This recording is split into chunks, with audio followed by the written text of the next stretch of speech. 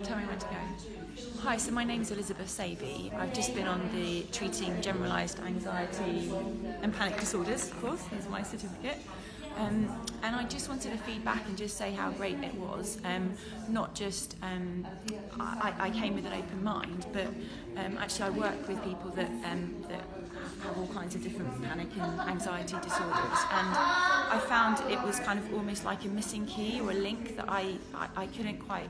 Um, verbalize but as I came on the course and um, and as it was being um, it was very I, I was quite surprised because it was quite detailed and, quite, and very scientific and very well thought out. And I I really appreciated um, the depth of understanding that I was receiving. And um, it helped me to be able to piece together what I've been thinking about in order to then reframe some of my thinking and therapy approaches so that I can um, coagulate them all together and come up with a really a, a brilliant working product. So I just want to say thank you um, to the course and to its organiser, and that was Wale Oladipo. I'm not sure if I spelled, I've, correct, I've correctly pronounced that. And um, if you're interested, then um, there is um, there are courses coming up.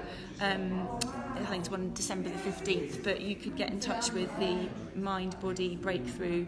Um, uh, there's probably a website. I imagine there is a website, and you could probably look that up on Google and find out about it. So thank you very much.